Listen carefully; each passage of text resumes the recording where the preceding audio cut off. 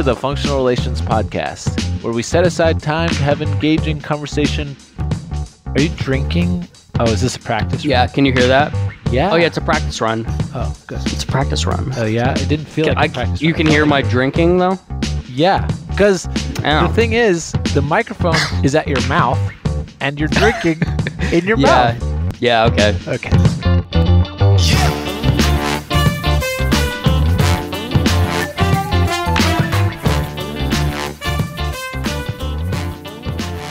Welcome to the Functional Relations Podcast, where we set aside time to have engaging conversation on relevant topics related to behavior analysis. I'm Zachary Bird. And I'm Caleb Davis. Zach, how's it going? Hey, man, uh, it's going really well. This is season three of the podcast. I know it's that? great. Episode Ah, one of season three. We're back. It's unbelievable. I can't believe it. I feel like we haven't done this forever. I know it really has been a long time, but I'm glad that we're back at it. We have some, I think, some really cool ideas lined up for season three. Um, we decided that basically it would be on supervision. What does that mean? yeah. So right, generally this season is going to be all about topics related to supervision. Um, this episode specifically, we're we're talking about how to be an effective supervisor. I think we're we're taking a pretty big bite this first uh, this first episode. Yes. It's a pretty broad topic, but um, yeah, we're kind of hoping. I think today to talk about what it takes. All there's a lot that goes into being an effective supervisor, and I think there's certainly a lot to learn along the way. I've I've had the opportunity to supervise a number of trainees, and I I think that Uh-huh. I constantly am learning new things. I'm refining what I do. It's I think if you go into it with an open mind, it can be it can be a really rewarding experience. Yeah, I think that um, one of the things about supervision is that when I've done it in the past, I feel like it keeps me fresh. Like I learn. It's not that I I don't learn that much. I learn about how to work with people because I think that that's something I'm always learning and and and getting better at. Hopefully, but I it like keeps me fresh on my behavior analysis like 101 sort of stuff, right? Like Oh yeah, that's a Keeping- good point. keeping those track of those like you know what's a stimulus prompt or whatever those sorts of things like i forget that in like five minutes after I- so it's no, nice that- to have that That's a good point. That is something I really like about supervision too, where there's definitely been times where a supervisee will ask me something and I'm just like, gee, um, I'm going to look into that. And next time we meet, I'll have an answer for you. So it's good. It kind of makes sure that you're keeping your skills sharp and that's right um, I think diving into those technical things that maybe you haven't thought about in a little while.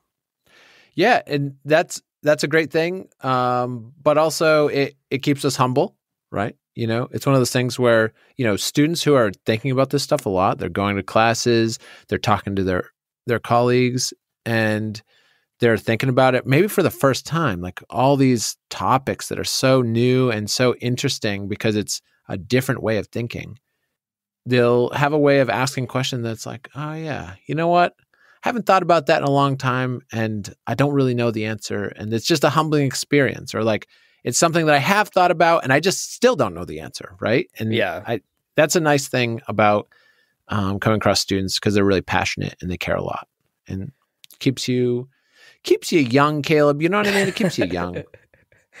yeah, and I think that you know, as we're talking about some of the questions that maybe we've been asked by supervisees, we're we're kind of challenged by those, and I I think that that's like we're talking about. That's not a bad thing. Like if you're a new supervisor or something, and you're you know maybe you're a little nervous about supervising, not sure if you're up for it or not. Like it's all right if you don't know everything. I think that that's you know just part of the process. And even people Yeah. that have been doing supervision for a while, I think they probably come across questions that you know you have to go take a look in the literature, maybe dust off the Cooper book, uh, take a peek in there. But it's all right. and it's and i think uh, actually that process is really valuable because you can teach people that if you don't know the answer you know how to get the answer right? Like you don't know the answer right now, or you can't remember the answer right now, but like you have a process, which is maybe I pop open Cooper. This is how I look up Google with Google Scholar. This is how I, you know, ask a, another colleague of mine. Let me email, you know, someone that I know who knows the answer or whatever, right? Yep. There's a process, a problem solving process that's part of that that needs to be taught too, because that person in five years will be in the same situation. Their mind might not be as fresh on those topics, but they need to know how to find it. And that's like, I think that's a great skill. Yeah, absolutely. So I guess something I will ask you, Zach, is Oh, great. What do you generally, what do you think it takes to be an effective supervisor when you're training BACB trainees? Okay. I think number one, I think you have to be friendly. Okay. I think you have to be. Oh, you know, this actually reminds me. My um, PhD advisor, Dr. Phil Chase. Do you remember you took took some courses with him, Caleb, too? And he used to say, a good supervisor or a good advisor is, or I think he said a good teacher, right? Said- Yeah, I remember it as teacher, Okay, a good which teacher. pretty much applies to everybody. Everybody is Yeah, right. everybody's a teacher Is- in some ways. firm, friendly, and fair. And that actually, that to me, that's what a good supervisor is. That's what a good leader is. Someone who's firm, friendly, and fair. Firm because you have some expectations, right? There's some things that you need to get accomplished. If this person's going to pass the exam, if this person's going to be a successful clinician, they have to accomplish things. And then friendly is like building that relationship. Someone is, you know, you have to be able to come across as a personable, even if you're not Caleb, even if you're not a personable person, you want to come across as a person. I'm just joking. you come across as a personable person. So being friendly and then fair, which is that um, when you create contingencies, someone needs to understand clearly what's expected of them so that they don't feel like what you expected was different than what they were expecting and it comes across as actually fair.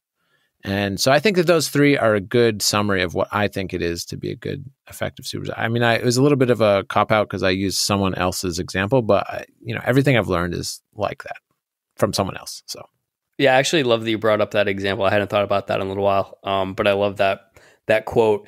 And going back to what you said by firm, I think that firm doesn't mean mean.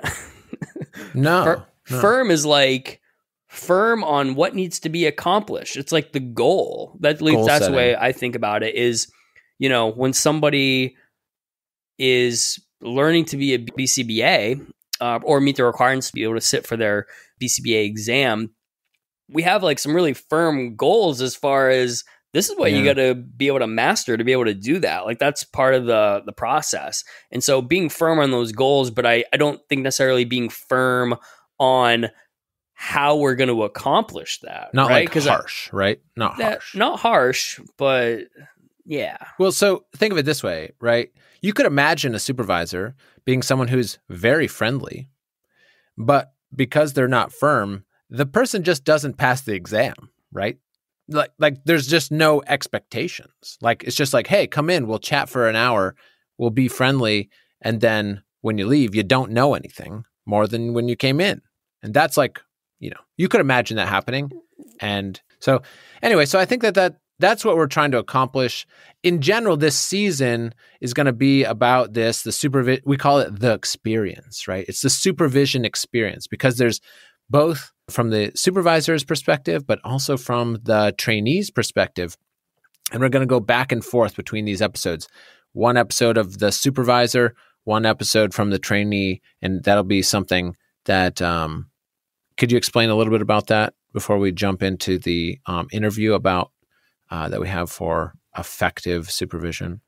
Yeah, right. So the the episodes that are going to be more like our traditional episode format, which is what this episode is, Mhm. um, is we're gonna have an interview with somebody, talk about what it what it takes to be an effective supervisor, or I guess the skills that you Yeah. need to have to be an effective supervisor. in this episode, it'll be worth one supervision CE. Okay. Um, but then the other type of episode will be more geared towards students and those just learning um, about behavior analysis and maybe wanting some some content to supplement the other things they're doing to potentially study for the exam. Um, and so this is where you and I, Zach, will just kind of talk about some concepts and provide examples that hopefully the student listeners or just you know anybody who's interested in learning about those concepts will find valuable. Yeah. So this episode one supervision CE, and uh, the topic is essentially a kind of a general thing about what are the components of being an effective supervisor. And so um, I gave you my opinion, Caleb, on what is an effective supervisor. Do you have anything to add on that? Yeah, I think I would add a little bit to that. So, in addition to the three F's, as we'll call it, uh, uh, firm, fair, and friendly, I think it's also important to to have a plan, like to to Oh, know yes. how you're gonna approach the supervision experience. Nice. Um, because I do get the sense that there's some variability in our field in how or what supervision looks like. Um, obviously, there's the requirement that you you have these meetings with the supervisor and trainee, but what actually takes place in those meetings, I feel like there's a lot of variability potentially. Not that supervision has to look the same for everybody right. actually quite the opposite. I think you you probably want to make sure it fits the needs of your your trainee. But I think regardless of what you end up doing, I think going into it with a plan, making sure that you have all the content covered, making sure that the trainee is able to master and have the opportunity to work and contact all the task list items.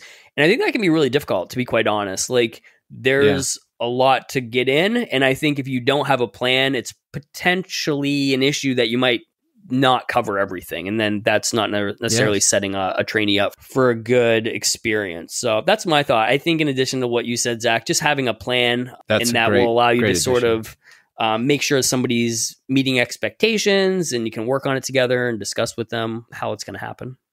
Yeah. Okay. Well, so, okay, this is great.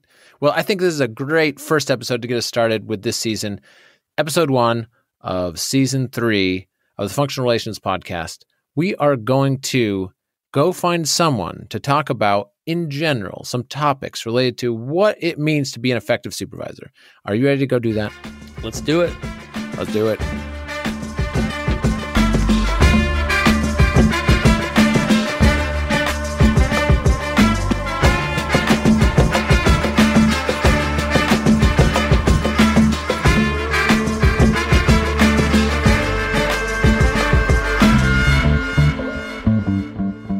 Hey, Caleb, before we go into the interview, uh, I know we don't usually do this, but can I do an ad?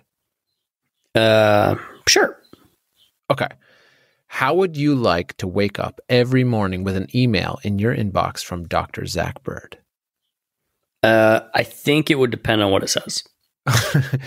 well, maybe it's a list of things to do that day, or maybe it's a note of appreciation for being such a strong team member. Is this an ad for your company? yeah, Caleb, it is. Yes. As the founder of Principled Behavior Consultants, I wanted to reach out to our listeners because we're looking to grow our team.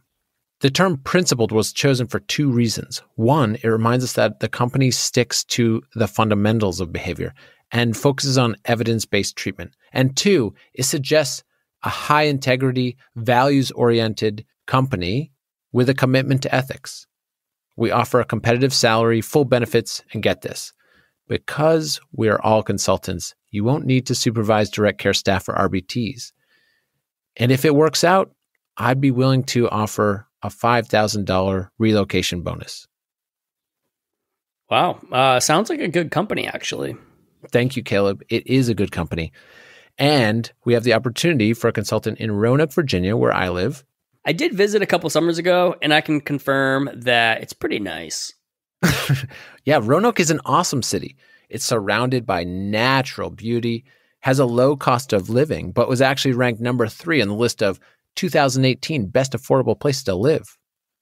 We also have another consultant position in Blacksburg, Virginia, which also topped a list of the top 100 places to raise a family. It's just about 40 minutes up the highway near Virginia Tech. Go Hokies. So if you're a person who is highly personable, well trained in behavior analysis, and interested in joining a great clinical team as a behavior consultant, please reach out to me at zach at principledbehavior.com. I'll put my email address in the show notes in case you're interested. Dr. Tyra Sellers, hello, and welcome to the Functional Relations Podcast. Hi, thank you so much for having me. I really appreciate the opportunity to chat with you both. Dr. Tyra Sellers is a director of ethics at the Behavior Analyst Certification Board. Yeah, this is great. Uh, today we're talking about supervision. So we're really happy that you're joining us because this is obviously an area that you have quite a bit of expertise in. So we're really just thrilled to have you on today. Well, thanks. I don't know if I necessarily have expertise, but I've certainly made a lot of errors and tried to learn from them. so I'm happy happy to share Experience, some of those. Experience then. Yes. yes. yeah. In your opinion, what does an effective fieldwork experience look like to ensure that someone's learning all of the things that they need to become a good BCBA? Yeah, uh, that's a great question. I think it needs to look like whatever it needs to look like for that individual, which feels like a little bit of a cop out. But if oh, you definitely did. well, good. I'm glad that we agree on that and you feel comfortable calling me out. But hear me out. I have okay, a, okay. purpose. Um, it's the same way if you were to ask me, like, hey, you know, hey, thanks for being on this podcast. We're going to talk about clinical programming for, you know, five year olds with autism. Tell me what a, a good clinical program would look like for a kid who's five yeah. with autism. I would say the same thing. Like, it would look like whatever the right program is for that kid. Nice. Now, that's you know my justification but um, that does mean that there are components that one should attend to just like mm. in clinical programming for um, an individual. So you know we don't uh, use cookie cutter type approaches those sorts of things. We don't decide what should happen for another individual. We involve the individual to whatever degree we can. We involve stakeholders. So same thing with appropriate fieldwork supervision creation. You should have the general things that you know are important for all BCBAs, and that might come from the task list and you know the supervisor curriculum 2.0 that the BACB puts out. It may come from your own experience, just knowing what you struggled with as a BCBA or experiencing other folks that have come up alongside you. Um, and it's going to include things like asking your supervisee or trainee what is important to them, finding out how to set up a, a relationship that um, is strong and engage in rapport building activities, identify what things are reinforcing for them, identify, you know, what kind of teaching strategies are effective for that individual. So so yes, it does seem like kind of a cop out, but it's it's a purposeful cop out. Um, uh, no, but I will take the opportunity to say that it does require planning and purposeful thought. And it should not only focus on task list items because you've got things like professionalism and time management, organizational skills, and problem solving, and all of those things that you have to wrap in. So um, that's my answer, and I'm sticking to it. I thought it was a great answer.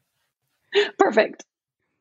So knowing that you know supervision sort of needs to be tailored to the supervisee, I guess you could say. Um, are there any systems out there that can be helpful for supervisors to figure out an efficient and effective way to deliver that supervision sort of once they know what their what their goal is uh so i mean there are way more supports out there now than there were say 10 years ago 5 years ago which is great. There are a series of articles that have been published across a few different journals, most notably Behavior Analysis in Practice, that would give people, you know, a place to start. Um, there are some that have appendices that include like sample agendas and how to evaluate, you know, skills, things like that. Then there are a series of books available. Um, so Dr. Kazemi and colleagues have a fantastic book.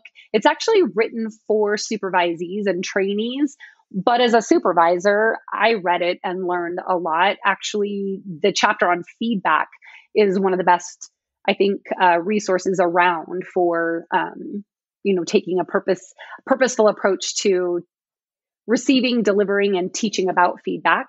Um, Dr. Britton and um, Matt Cicoria have a great book on remote supervision.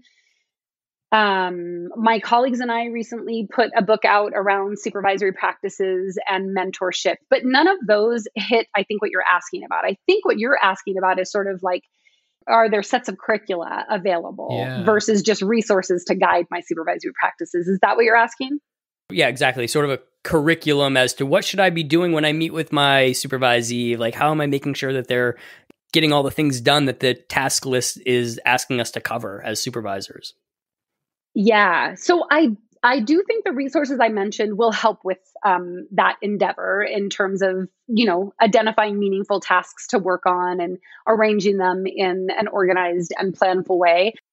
And then I think there's a new book coming out. Dr. Yulema Cruz and colleagues have a, a, book that sort of functions like what you're talking about, sort of breaking it down and saying, do this in this order, that sort of thing. Um, I will be honest, as a supervisor, I probably would minimally use those kinds of things only because I have enough experience that I'm going to feel limited. Now, if you're a new supervisor, I 100% think that you should access those the same way when you're new to clinical programming in whatever area you probably go, you know, we might go to um, work by Ron Leaf and colleagues to gather some programming ideas for clients, right? So I think it's great to have access to those if someone is maybe new to supervising right now and they're you know just starting out and maybe they're already involved in some supervision. How would they know if what they're doing right now is useful and effective or not? Mm-hmm. great question. And i think that's an important question for everybody who's supervising, no matter how long you've been doing it. It's an important question even for me. Um, and it's something we're required to do. We're required to make sure that our supervision is effective. So I think there are a number of ways. I think one way is just sort of how are you feeling about it? How does it feel to you? Do you look forward to your supervisory meetings with your trainees or your supervisors or your supervisees? I mean, um, are you planned? For those meetings? Do you feel competent and comfortable and um, those sorts of things, right? So there's like sort of that initial level of just like, how do I feel about things? Um, then you could ask your trainees and supervisees how they feel about it, which uh, feels pretty obvious. And you can do that in a number of ways. You can do it informally, just in your meetings.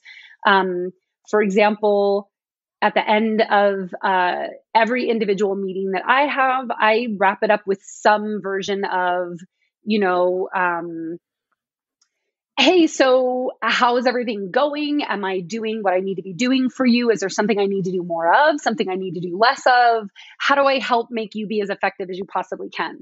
And that's an easy way to set the stage for um, kind of lower stakes feedback you can ask for formal feedback um, in a structured meeting, or you can use a form, um, or you could use anonymous feedback tools if you have enough supervisees or trainees, uh, and you can do that for free. And so that's always a great way. Yeah. Um, and then you should have some specific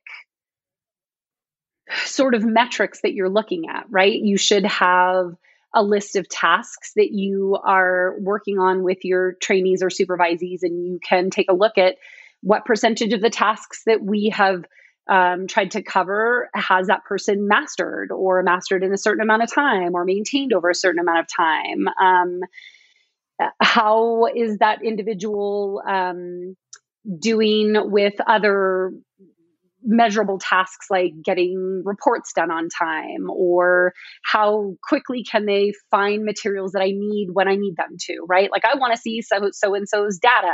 Can they efficiently and effectively pull up that? Um, do you have your meetings regularly? Is that person canceling on you a lot? Or are they late a lot? How engaged are they, right? These are things that we would measure for clients um, with whom we work. And so we can do the same thing um, with our supervisees and trainees. And then you can look at more derivative measures like how are their clients doing so if you're supposed mm, to be affecting their professionalism and their um, clinical skills that should be borne out by successes um, for their clients and maybe you know uh, rbts that they're also working with or stakeholders that they're working with. Maybe they're responsible for um, training parents on some strategies. So you can also get feedback from those more tertiary individuals that are um, related. I don't i feel like i talked a lot. Did i answer your question? Yeah i think so. Yeah. Okay good.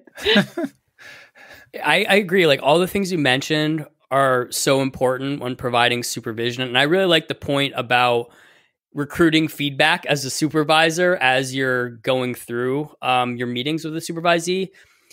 Based on all the things that you just described and how important those are i think to providing good supervision how do you find time to do it all? Like i think lots of times supervisors are um, you know they they probably maybe have a caseload or they have their their typical job responsibilities and then they're often providing you know this fieldwork supervision as well. Do you have any uh, advice for people that are maybe just becoming supervisors on how to find the time to to provide this effective supervision that you just described?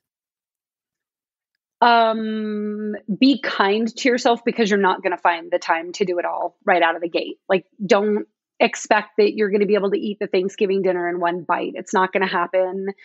Um, because our service delivery model just isn't set up to do that, right? Like supervisory activities, for the most part, if you're working in a provider agency, might not be billable to the degree that you want or need to be as effective as you would want to be. So, um, you know, sometimes I I feel guilty talking about supervision. I feel guilty producing the book that we produce to some degree because I worry that I'm setting this expectation that everybody out out of the gate should be performing at this high level as a supervisor. And that is certainly not the message that I want to send. What I want to send is that you should be as bought in to high quality supervision as you are bought into high quality clinical services. Your client is the most important person. And the second most important person is anybody running programs that you are responsible for or anyone for whom you have accepted supervisory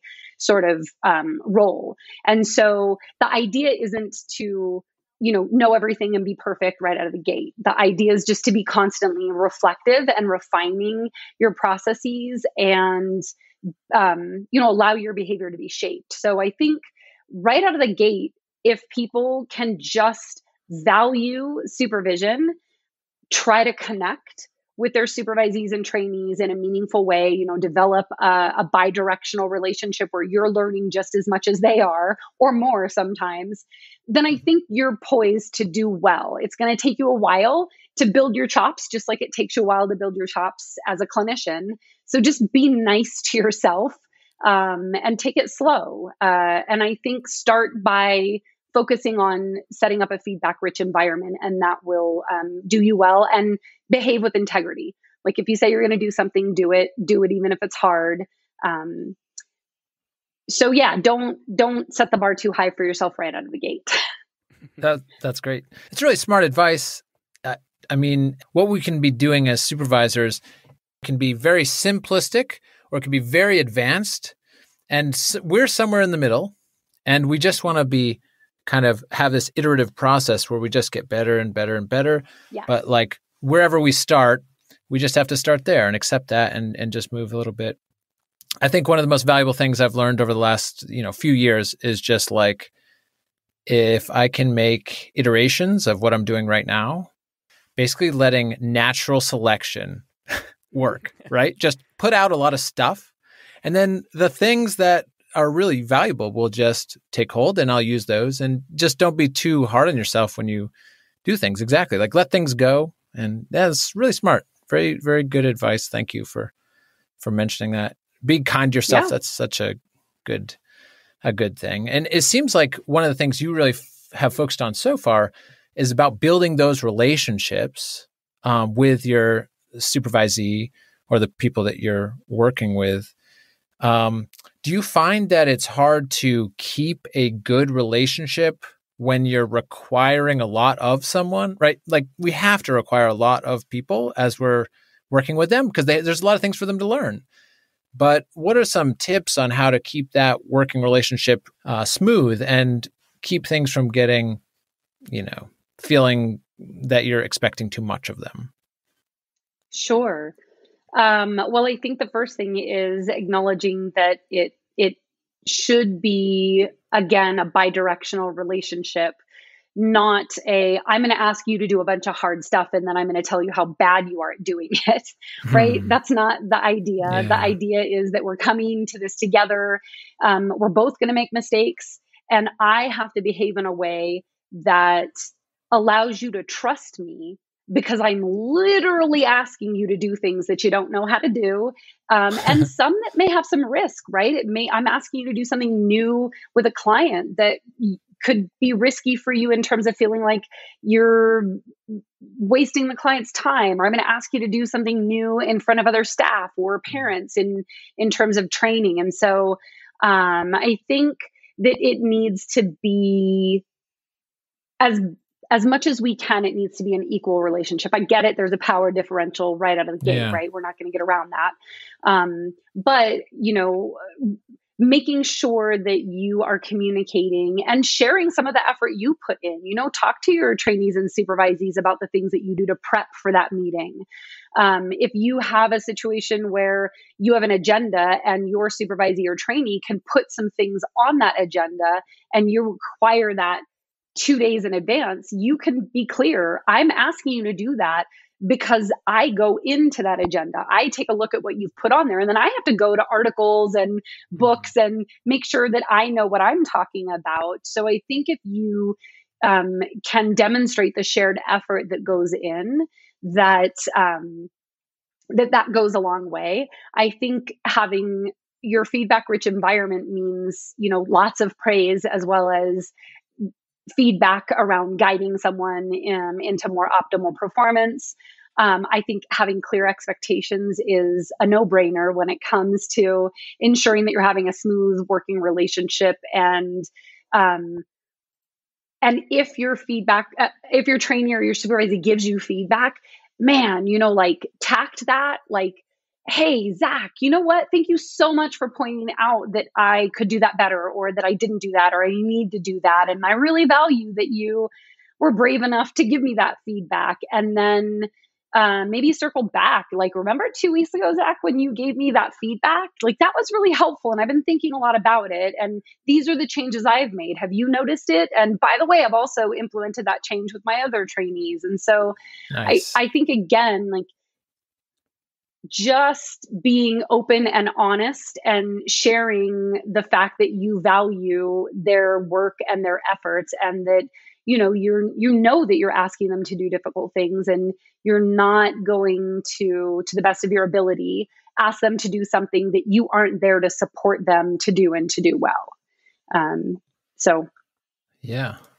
Seems like just being an authentic person showing that you put in work they put in work you put in uh, your effort, they put in effort, and it, and that you've made mistakes, and you're still making mistakes, and we're all that we're all managing that.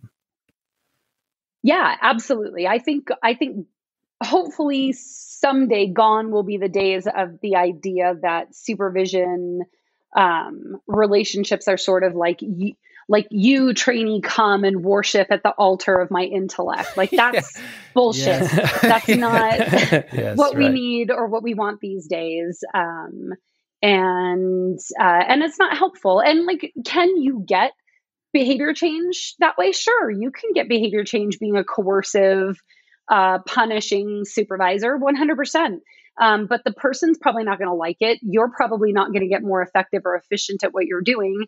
And you run the risk of a lot of counter controls, a lot of um, unhappy people, and that person not being well positioned to provide effective supervision um, in the future when they move into a supervisory role. So, Hey, everybody. If you're interested in getting a CE for listening to this episode, this episode is worth one supervision learning CE, and you'll need to provide two code words when you go to checkout. The first code word for this episode is window. W I N D O W, window. Open up the window and let some fresh air in. Window. Yeah, something um, Zach and I have talked about that I'd love to get your thoughts on is so much of being a behavior analyst, as you well know, is responding to somewhat new situations, I guess, right? So we mm-hmm. often encounter situations that are kind of different, but maybe a little bit similar to similar situations, but it often requires problem solving skills to kind of arrive at a solution or a plan of action. So I feel like this is a skill set that obviously has to be developed in somebody that we're supervising. Do you have any suggestions on how to develop this repertoire? Because I mean, it's kind of a complex skill set. Yeah, yes. I mean, I think you start with what you just did, which is describe that that's the goal, right? So um, the idea is to produce behavior analysts at the master's level not technicians. Technicians just do the things that that are you know sort of designed for them to do. Um, but if you're an analyst, you're someone who is able to take stock of all of the stimuli in the environment, the context, you know, sort of derive some functional relations that may be present, make some manipulations, identify, you know, did did you get the outcome that you wanted? Um, and we we train that up in terms of clinical work, great, but it feels like we don't do a great job letting people know that that is a general skill set that you can apply to every aspect of your life. And in fact, you should apply it to supervisory practices, you should apply it to staff training, interacting with parents or other professionals. Um, and so I'll tell you for me, one of the one of the most important lessons that I learned early on was that I was I'm not naturally very good at self observing and tacting what I was attending to and why I engaged in a certain response versus another response. And part of that may be uh, related to kind of what Zach was talking about earlier, which is actually my life motto once I figured out behavior analysis, um, which is just engage in a lot of behavior and let your behavior get shaped, right? Which is great for producing a robust uh, repertoire of responses, but not so great at being able to attend to well, which response might be most optimal in this situation? Um, and so I really had to work hard to develop that because what would happen is I would do, let's say I was working with a client who had some severe problem behavior and what, whatever, I was able to create a situation where ultimately there was uh, no problem behavior and um, you know socially appropriate behavior. And someone might ask and this is back in the day because i started just as like a, a, one-on-one. I started doing respite work. So um but you know like a coworker might say like hey what did you do? Like that was really great. And my response would be like i don't know. I just did a bunch of stuff and and it worked which which like honestly was kind of reinforcing because it's like I'm just naturally good at this. I followed my instincts. But that's a really bullshit answer if you're a behavior analyst because it does it's not fair to the client because I'm not able to say specifically these things produce this result and I can do more of them to get more of that result and I can avoid doing these other things because they get the result I don't want. So that's terrible, right? We don't want to expose clients to trial and error. It terrible for me because I'm not able to identify what was optimal and what wasn't, and then replicate that with that person or other people. And it's terrible for my coworkers because I can't say, oh, specifically do XYZ. So I can't systematize things. Um, so it, it's just crappy all around. Uh, and so I think forcing yourself to be observant, to be able to tact the, the stimuli in the environment uh, or even internally that you are attending to um, those decision points and why you're able to discriminate. Like in this instance, I can have my laptop out taking notes with this parent, but in this other instance, I tacted a, some things that led me to discriminate that I should close my laptop and instead just sit and listen, right?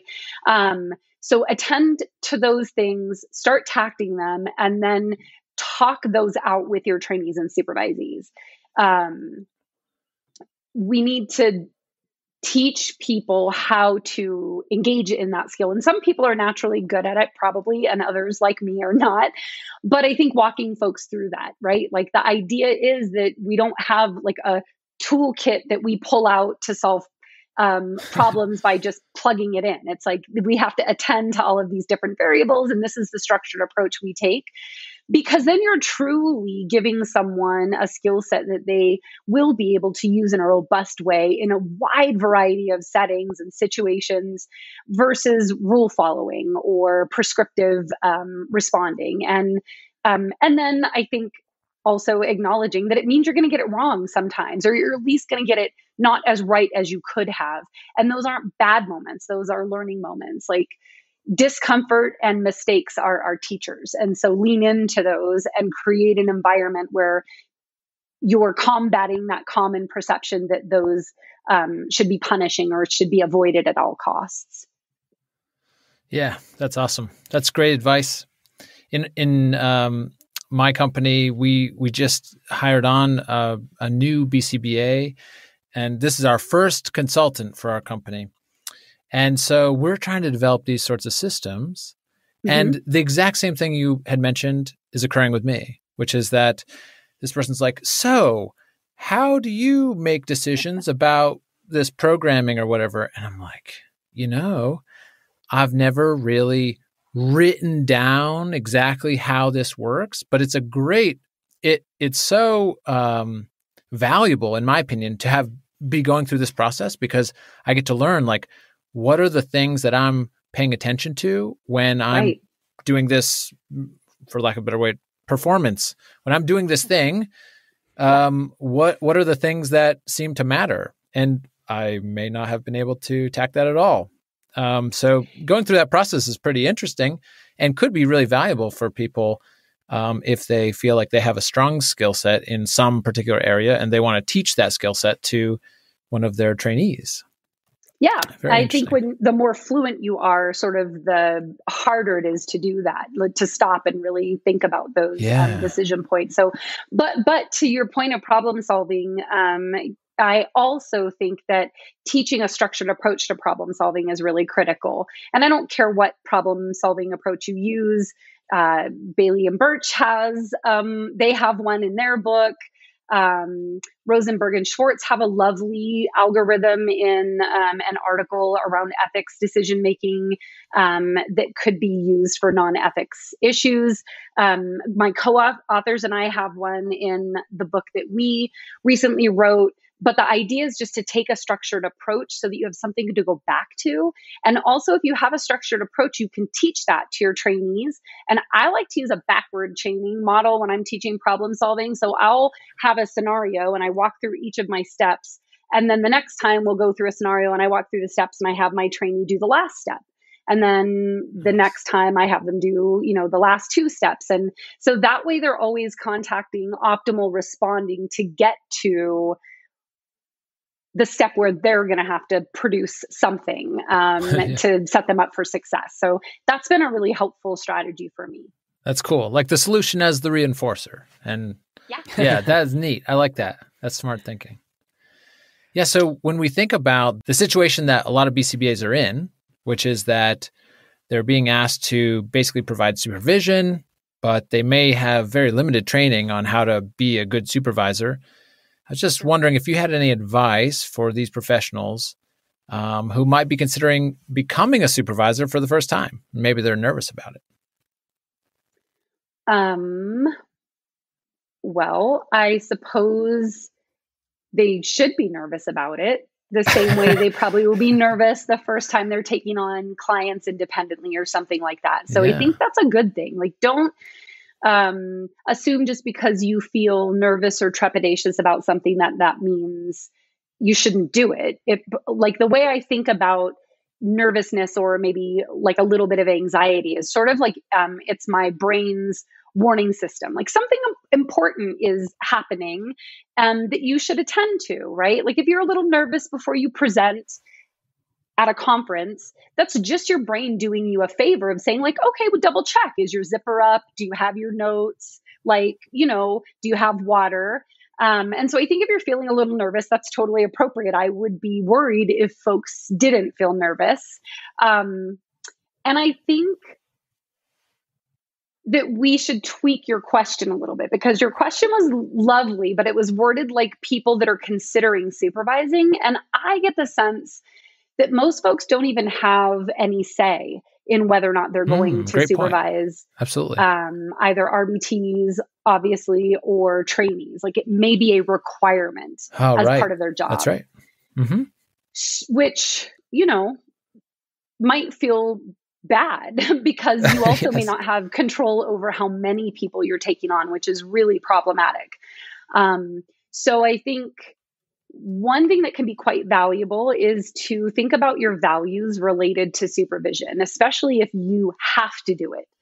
What is it that you value about the supervisory process? Is it that you value creating an opportunity for intellectual discourse? Is it that you value positioning people to be successful in their careers? But I think if you can articulate those values, it will make it it will at least give you some light at the end of the tunnel to keep an eye on when things are not going well. And that's going to happen. Like they're not going to go well from time to time. Things are going to fall apart.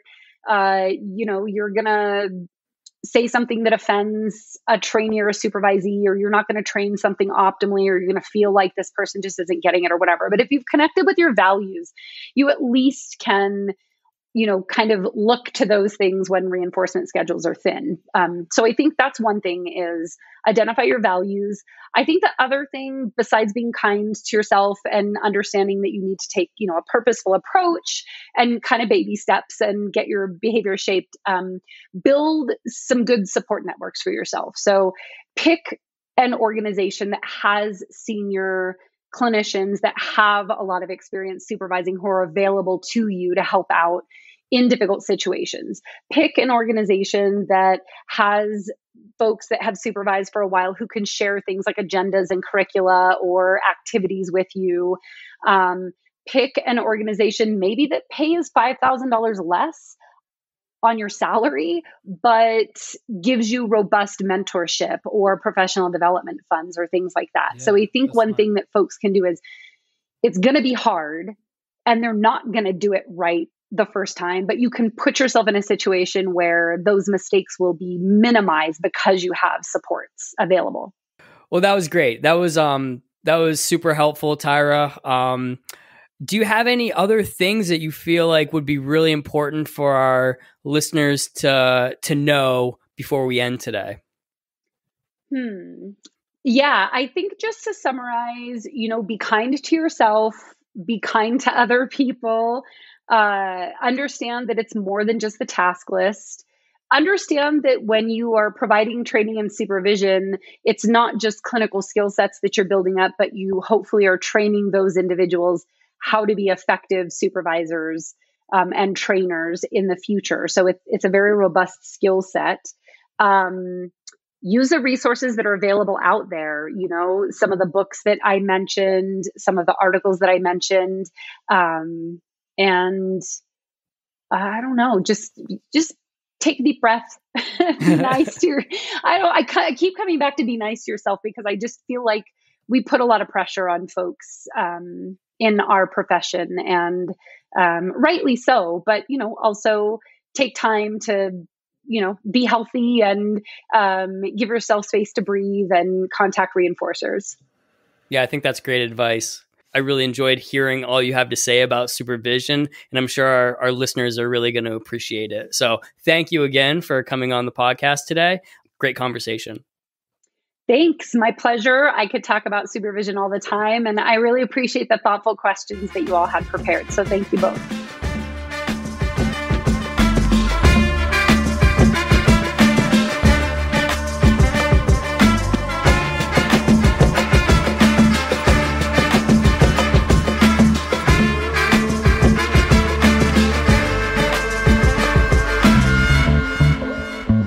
All right, and we're back. Before we talk about our interview that we just had with Dr. Tyra Sellers, we wanted to take a second to thank our Patreon members. Yes. Thank you, everyone. Thank you for supporting us on Patreon. Patreon is a website that allows listeners to access things like behind the scenes posts, bloopers, updates, and uh, other small gifts that we send to our members to show appreciation. In season three, we're going to be adding in uh, video interviews. So, interviews we conduct with the guests on the podcast will be in video form for our Patreon members. You can learn more about becoming a Patreon member at www.patreon.com slash functional relations podcast. We'll leave the link in the show notes if that's something you're interested in. All right. Yeah. So thank you so much, all you Patreon people out there. I thought that was an excellent interview with Dr. Tyra Sellers. And yes, a lot of little golden nuggets I think that she shared with us. Um, yes. About being a supervisor. Was there anything that really stood out to you, Zach? Or I, I know a number of things probably did, but is there anything in particular?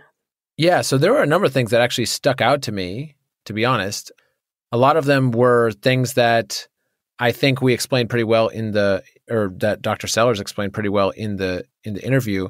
But one thing I w- thought might be interesting to kind of dive deeper on with you, Caleb, was just in passing, Dr. Sellers mentioned that it's important that we involve the supervisee.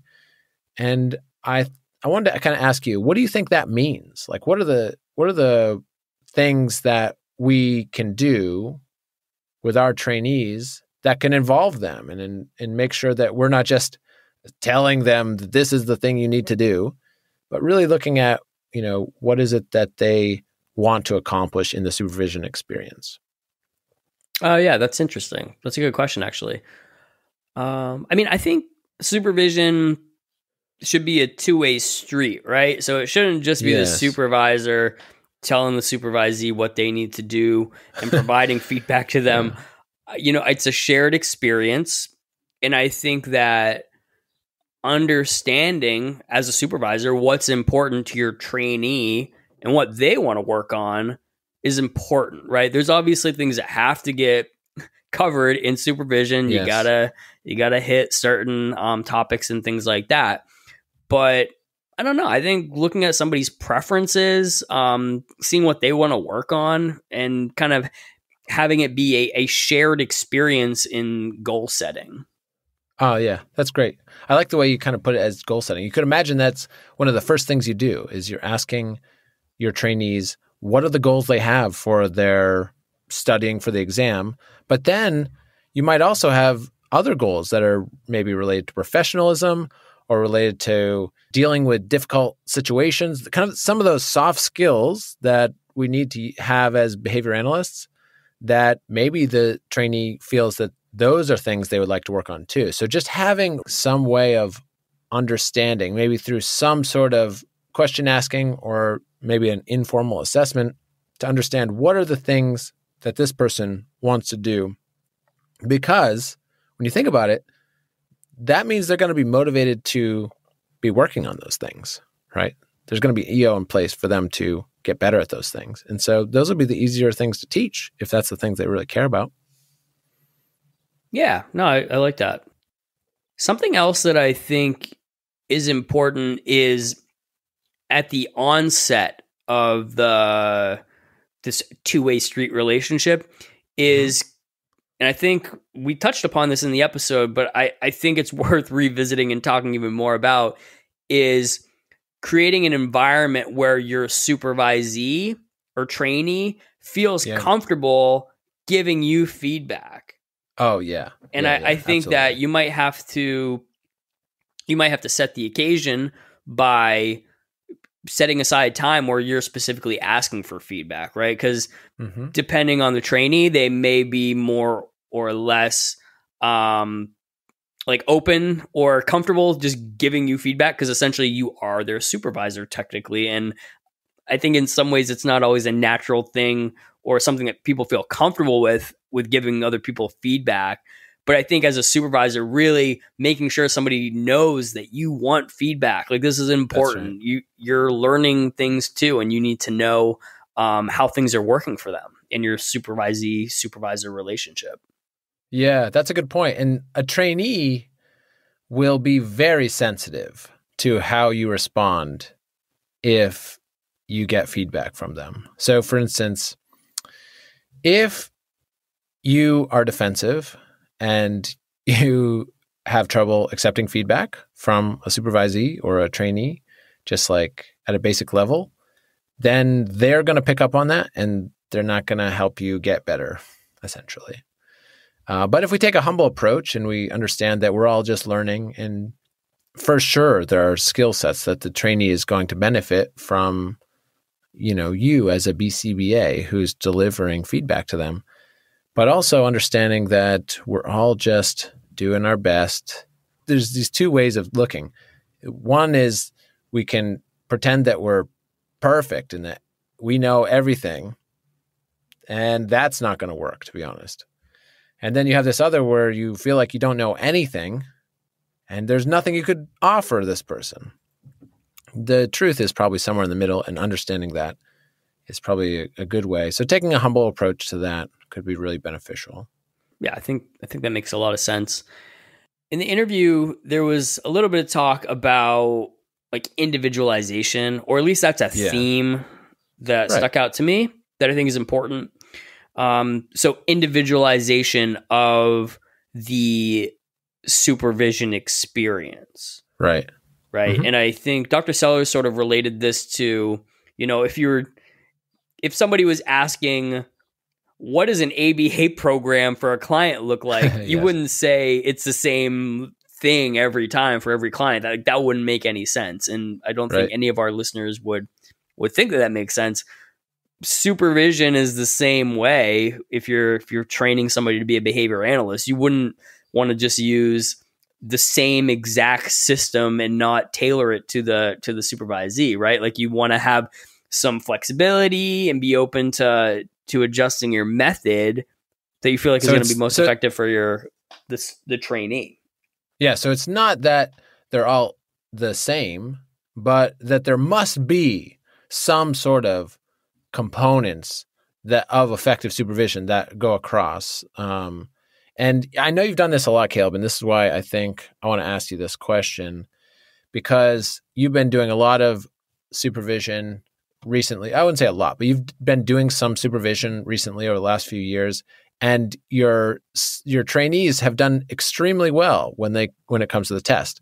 I know you wouldn't want to say this, but these people might be listening, Caleb, and they're so proud that they had you as a supervisor. Because look at them now; they're all BCBAs. But there must be some effective components to the supervision that, as a field, we probably should keep in in mind. Um, you know, what do you think are the most important things? or what do you think are, are some important things? So, component number one that I feel like is important, and this is coming from my own personal experience. Okay. And I should Everyone say, and I should say what down. I've seen some some systems of supervision require that I think is effective is okay. covering definitions and key concepts in behavior analysis and having supervisees create note cards and essentially having them you know maybe recite those definitions providing feedback coming up with examples that re- are related to the work that they do every day. That's component number one in my opinion. okay that's a good one. What else? Uh, component number two is covering all the task list items. Yeah. I know I, this feels like it's obvious, but I think that it's difficult. there's a yeah, lot of well, task so list items, right? Yeah. Depending on how long, um, you know, you're working with a particular supervisee, it can be difficult, I think, to get in all the task list items. So I think covering all the task list items, and I think that having a system of how you're going to do this. Like, I think you need a system. You need to, yeah. if you just kind of go into every meeting talking about whatever you feel like talking about, you're not going to be efficient enough to get through everything you need to get through. And that's my yeah. opinion. Yeah, I, I, agree with that 100%. That's been my experience too. I've had some um, some trainees, and I agree with that 100%. With that being said, though, I think that there are resources of figuring out how to do that. Some of them of which were talked about in the episode. So, I mean, my advice to any any new supervisor is if you're going into a training experience and you want to make sure you're covering all the core content, you should probably look to having a system and, and planning about how you're going to pace yourself because that's what also comes into play too. It's like you know you're going to have X amount of months or meetings with somebody. How am I going to pace myself to get through all this stuff? Right. That's right. Okay, that's two. Get all those task list items under your belt. That's number two. What else we got? Components of effective supervision according to Caleb Davis. Here we go. Number one, definitions. Number two, contact all the task list items. Number three, what's number three? Number three is you got to do stuff. yeah, seriously, do stuff. This is another one that seems really straightforward, but your supervisees need to learn how to do stuff, right? So even though I mentioned I just uh, like I just talking like about that, definitions of- and covering task list items, a lot of the task list is doing things. And so making sure that somebody practices skills, they get experience doing the things that are listed on the task list.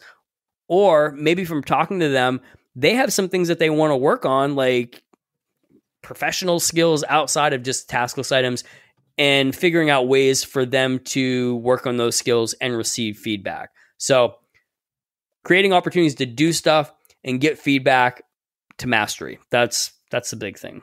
Yeah, that's great. Or one of the big those, things. Yeah. Yeah, I think that those are good. So, number 1, definitions, get some SAFMEDS, make some note cards. That'll help a lot. Also, along those lines, Caleb and I are working on developing a few episodes this season actually around key concepts. So this could be something that could be useful for people as far as um, understanding those key concepts a little bit better. And then number two, contact all task list items. Just uh, do your best. I mean, this is really hard because you know we only have a certain amount of time, but that's why you know, like you said, pacing yourself so that we can actually get them all in in the amount of time you have. That's a great suggestion. And then C, do stuff. Yeah, basically, I think that's a great suggestion. Just um, make sure that we can actually behave uh, toward the things that are required when we become a BCBA. That's great. All right, so this was a great episode, Caleb. Thank you for your insight. I you have a lot of skills in this area. I'm glad that I could talk to you about it, and um, I'm gl- so glad we could talk to Dr. Tyra Sellers about it too. Um, do you have any final thoughts, Caleb? We should be keeping in mind before we close out the episode? Hey, everyone. If you've been listening to this whole episode and you're interested in getting a supervision CE, the second and final code word is smell. S M E L L. What is that smell? Smell. When you finish the episode, Head over to functionalrelationspodcast.com to purchase your Supervision CE. And also, if you're in need of ethics CEs, you can get two ethics CEs for any of our episodes from season one, or you could get one learning CE from any of our episodes from season two. I don't think so. This was a fun one. It was really great talking about supervision with Dr. Sellers. Really really thankful that she could come on and talk to us about this today. Um, really enjoyed it. Yeah. So I guess in the end, I would summarize by saying be kind to yourself. After you listen to an episode like this, you might think, oh man, I got, I, I suck. I got to do better.